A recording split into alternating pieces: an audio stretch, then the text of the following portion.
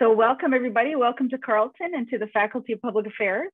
Uh, we call it FPA colloquially. Uh, my name is Dr. Brenda O'Neill and I'm the Dean of the Faculty of Public Affairs. And I believe this morning we have uh, students who are entering the, the the European, Russian, and Eurasian Studies program, as well as the Political Science program.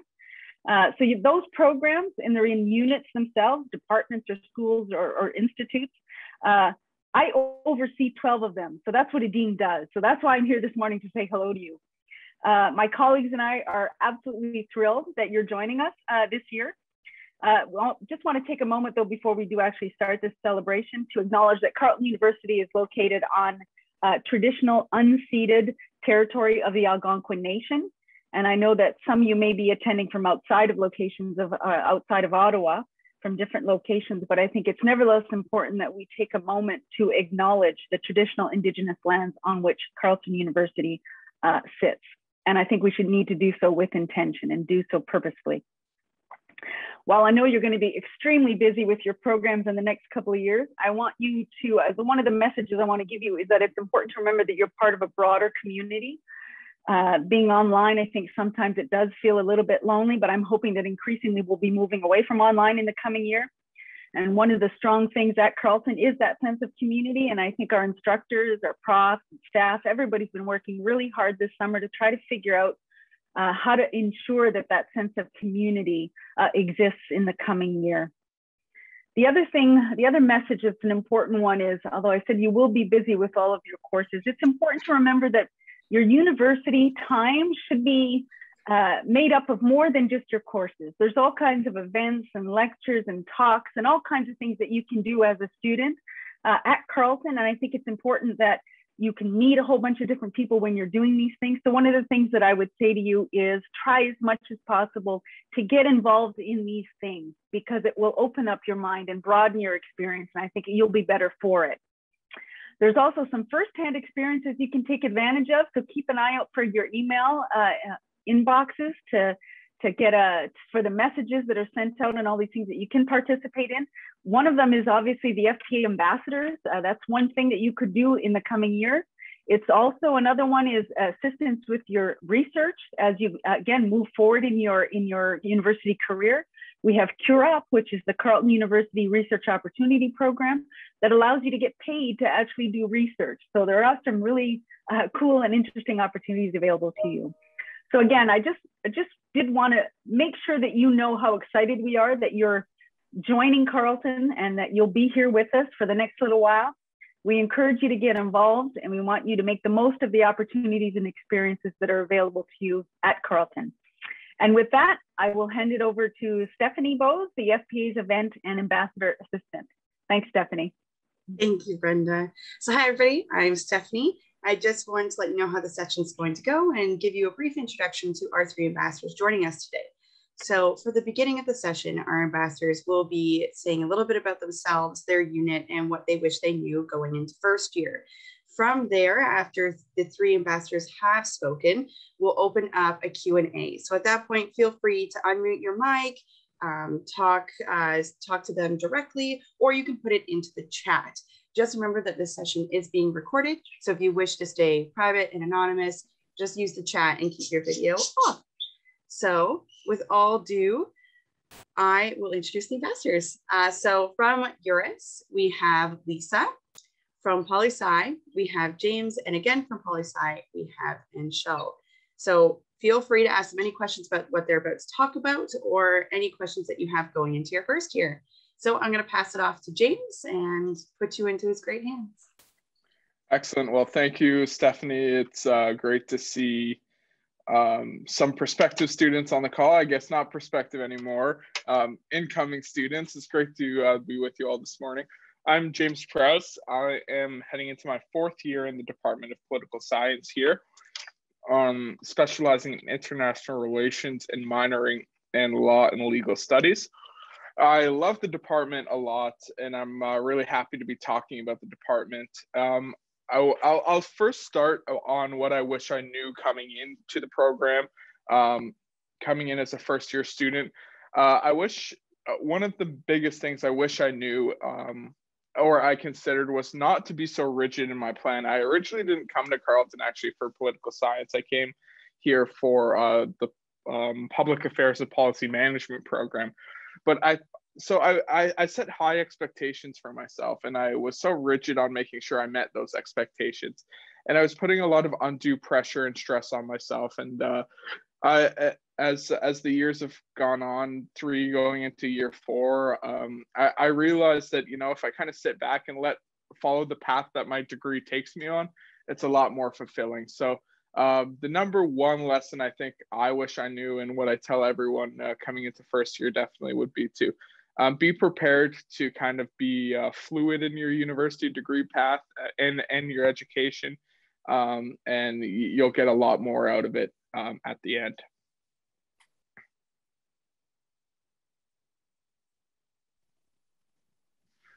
Stephanie, I don't know if uh, you want to pass it off to Anshul or. Yeah, that was just about perfect. To. Good timing. Okay.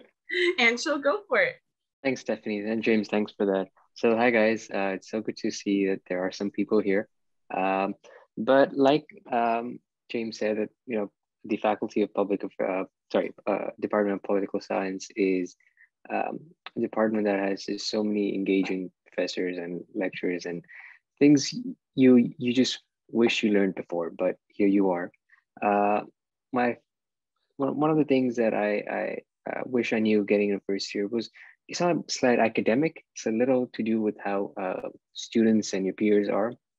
That uh, first year, everyone is just trying to be sort of a better person or just a better version of themselves. And uh, uh, as every person you meet, just know they're uh, also they, they're going to be shy. They're going to be nervous meeting someone new, someone they've never met. They don't know what you're going to think of them.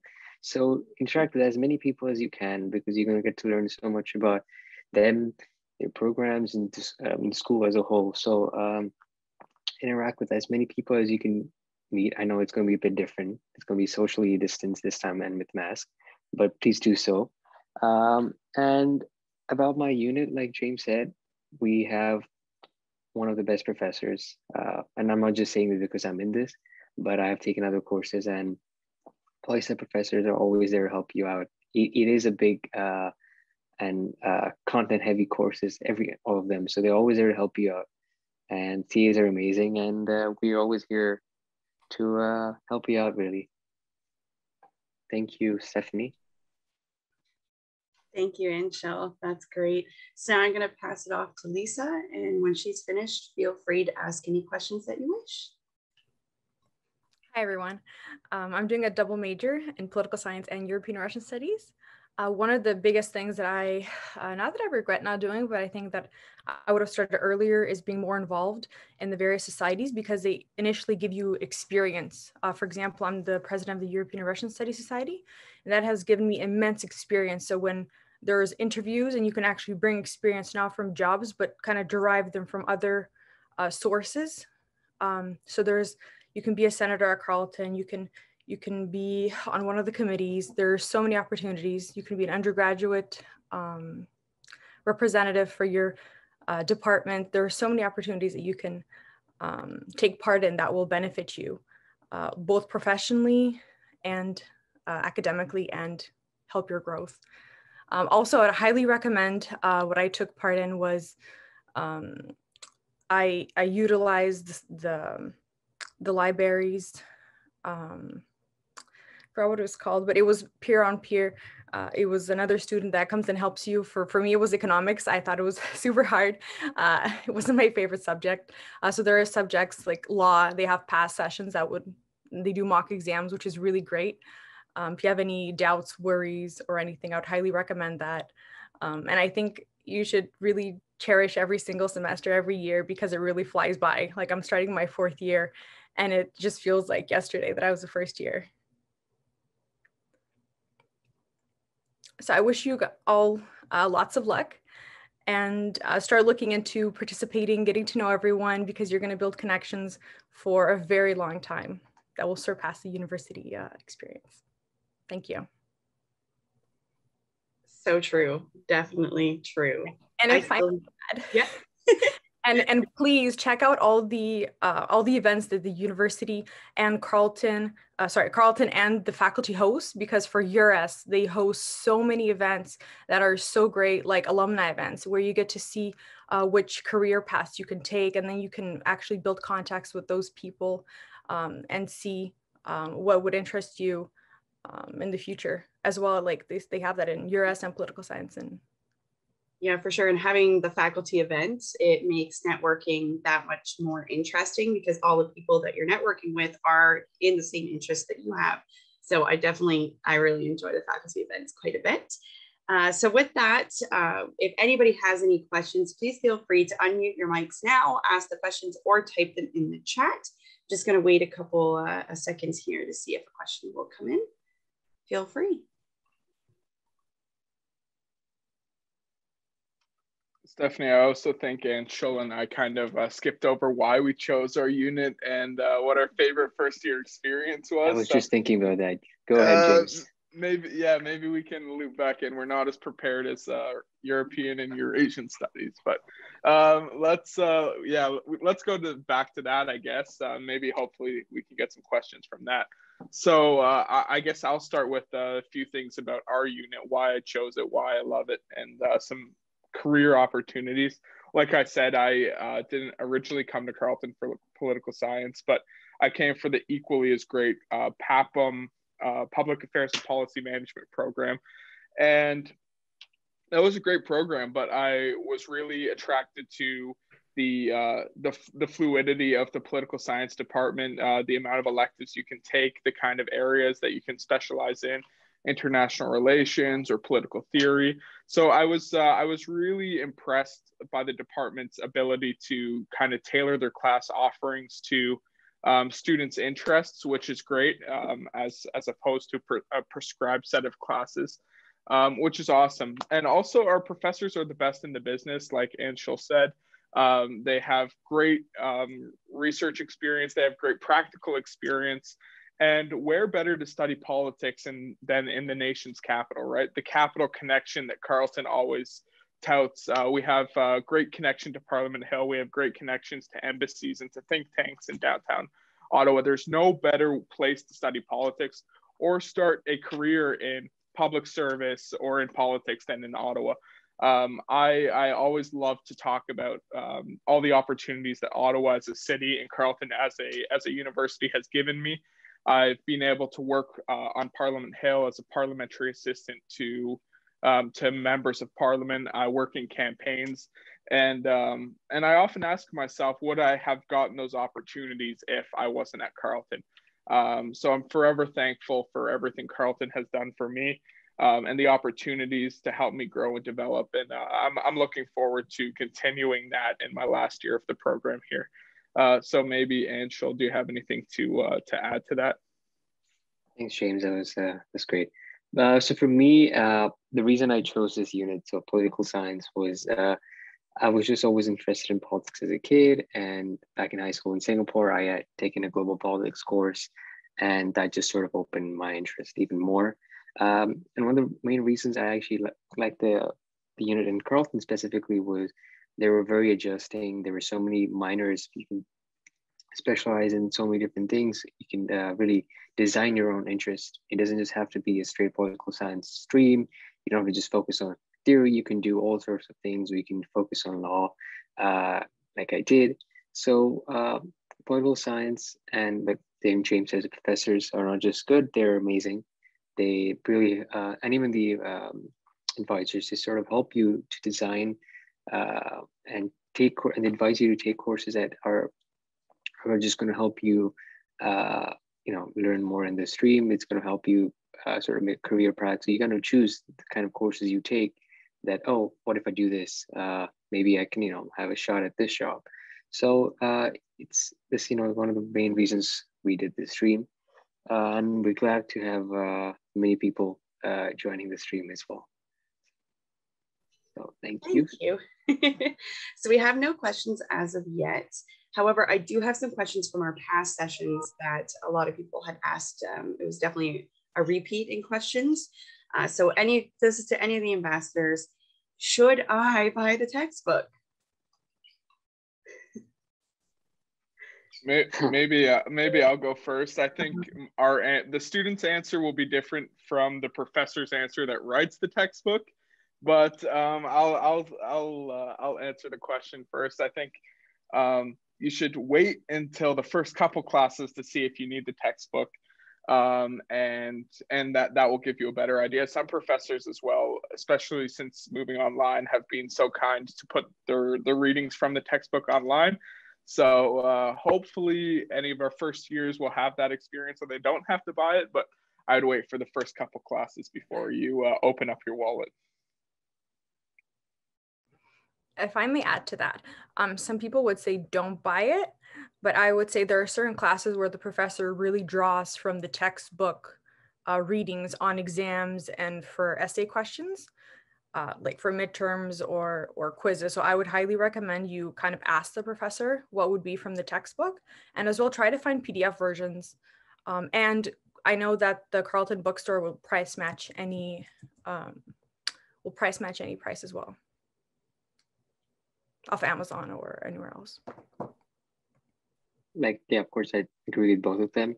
Uh, so I think it's just about you seeing uh, uh, how your first or second week goes, asking your peers. Uh, yes, books are expensive. Just to let everyone know that uh, we're not going to sugarcoat that. They are expensive. They're big. Uh, but you know, I guess if your interest is just at large in that course, um, I'm sure that book uh, wouldn't be an, an issue. You can always, uh, uh, you know, in the recent times, professors have been very welcoming and they have put the books uh, they have bought it and they put it online. So uh, just see how it goes. But yes it's going to be useful for you. Don't worry. Yeah i completely agree. I remember my first semester at carleton i bought all the books brand new before the classes started spent thousands of dollars that were unnecessary. And then the professor's like here's the free pdf so definitely wait a couple classes. Um, it will definitely lower your stress level around books. Completely agree. Um, and a lot of professors do pull from the books, so it's definitely good to have for when you're studying. Um, so does any of our guests, do they have any questions as of right now?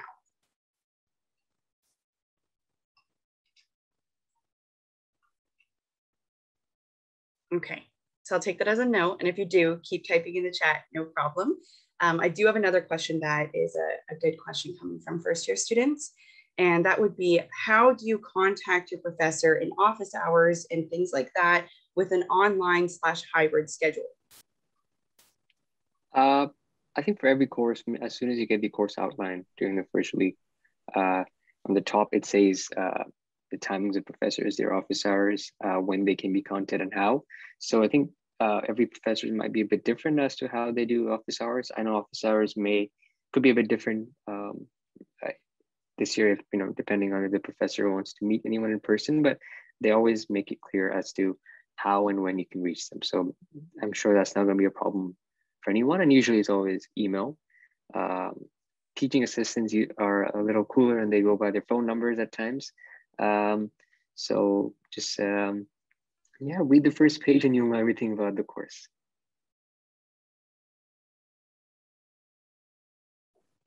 Thank you, Anshul. That's perfect. So um, you'll receive, usually you receive the syllabus um, either the first class the day before or within that first week before the class from your professors. Uh, so once you receive that, definitely give it a read as it will tell you what to expect in the course, all the different aspects of the course. So then there will be no surprises while you're in the course. All right, if there are no questions from our first year students today, definitely feel free to reach out to me. I'll put my email in the chat. And uh, Lisa, James, and Anshul, if you have any closing remarks, then definitely feel free to uh, take advantage now.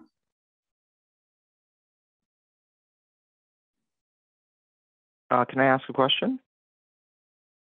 100%. Go ahead, Sean.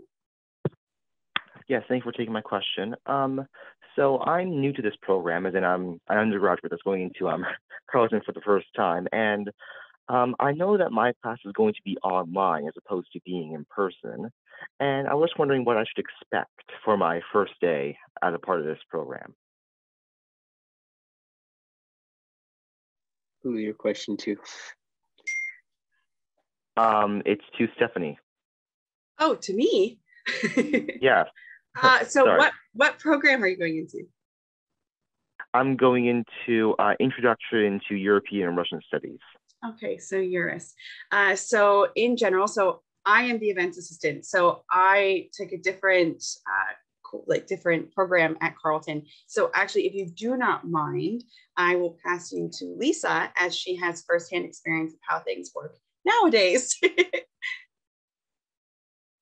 yeah, so I actually designed one of the classes with the professor uh, the first years. Uh, it's very, I'm so sorry. uh, it's very interesting. Um, it's very, it's so they kind of the first year classes are aren't not like they try to limit the shock of of um, you're not going to write thousands and thousands and thousands of words. Uh, it's very kind of the first class is kind of laid back. They explain everything. Um, and don't be shy. Ask the professor or the TA anything. They're there for that. If you have any questions, it's best to ask right away than wait like last minute to ask before um, the assignment is due. Uh, they're very flexible. If you have any issues, they will um, guide you through them uh, and everything. In terms of content, it's very interesting and it's basic. It's very introductory. So there's not nothing uh, very complex in the beginning. It's very kind of eases you into it, and then um, you get you get to gradually build uh, on the knowledge throughout uh, each class. So I don't know. Do you have okay, a then. question? Um, I do, yeah. So um, my specific question was, um, am I right in assuming that uh, this course will require a lot of, for say, essay style assignments? Uh, they are essay, but um, in my experience, uh, the first assignment that I had was more of kind of teach you how to write. It depends on the professor and everything. They kind of explain how do you write an essay, uh, eh, like academically in the academic, uh, keeping like an academic, because uh, it's kind of different from from from high school and they kind of explain everything to you and guide you through it um, and the assignments the first assignments are kind of easy and they explain everything uh, so don't, don't be um, don't be afraid that it's like too complicated. Um, and yes it's essay, usually it's essay style. The, the the midterms are different. They vary from multiple choice short answer. Uh, it depends on the professor really. Ah, I see then. And my last question, um, are you aware of the CU1001 course, which is kind of like the orientation sort of thing on Brightspace that is available to uh, undergraduates? And I was wondering if on that course, if there is a field on the EURUS program where I can uh, learn further. So I can actually answer this one as I helped to plan the CU uh, 1001. so now it's back to me.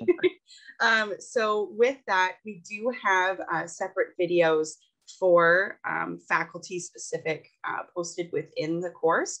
So there is a EURUS video. So uh, U-R-U-S. we say EURUS for short. Um, so you'd be able to view that video. I do believe that some of the faculty members have also posted articles and stories within there. It was completely up to whether the faculty wanted to share their articles or not.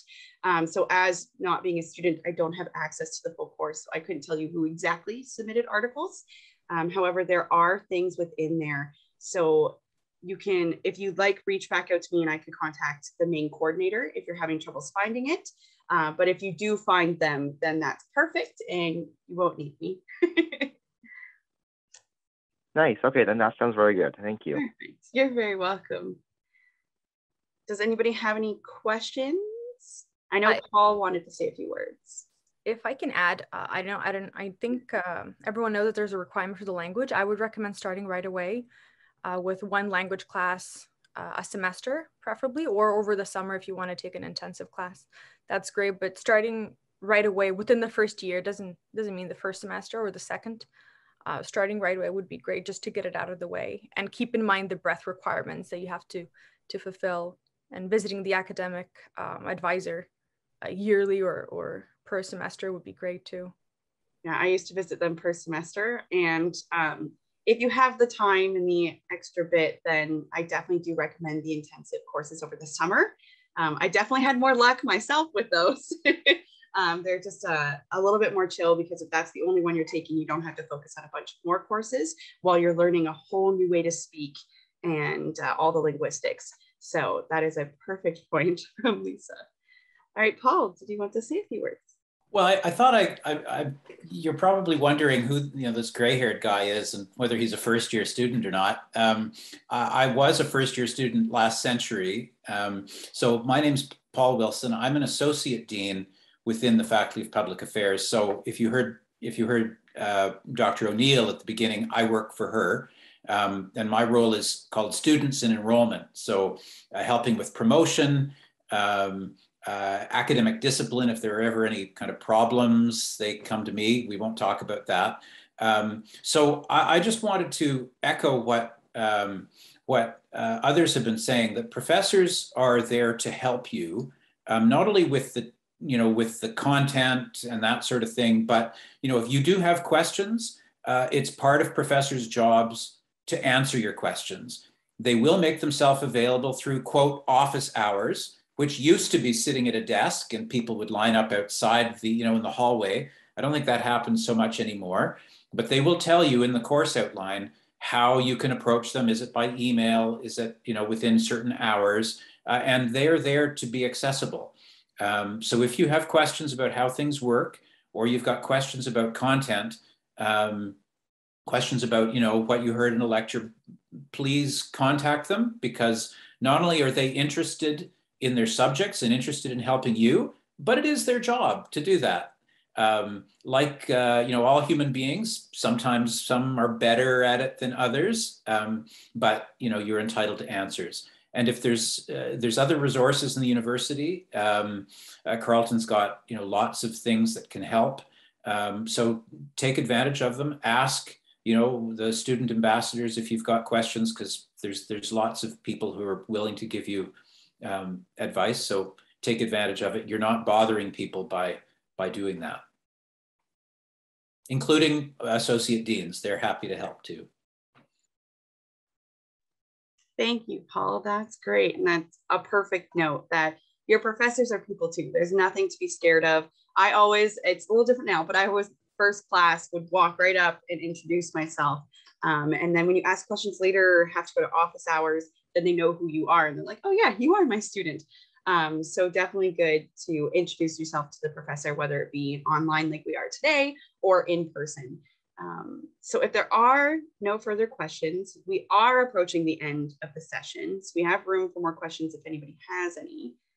But if not, then I think we can call that a session. Are we all good?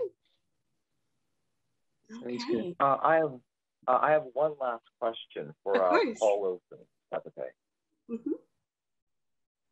For Paul. Okay, so my question, so my question for Paul Wilson is that so I know on the program site that I think there's some sort of reference to uh, learning uh, an Eastern European language as part of this course, and I was wondering if that is mandatory or if there was a class associated with that I need to take along with this program. I don't know. I've been doing this for a, a, month. I'm from political management, so it's a different program. So I'll bet Lisa knows the answer though.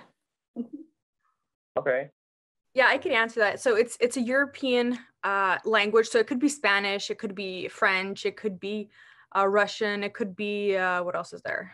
I think Polish. There, there's like a whole list of them uh, that you can choose from if you go visit um, the calendar, the EURUS calendar.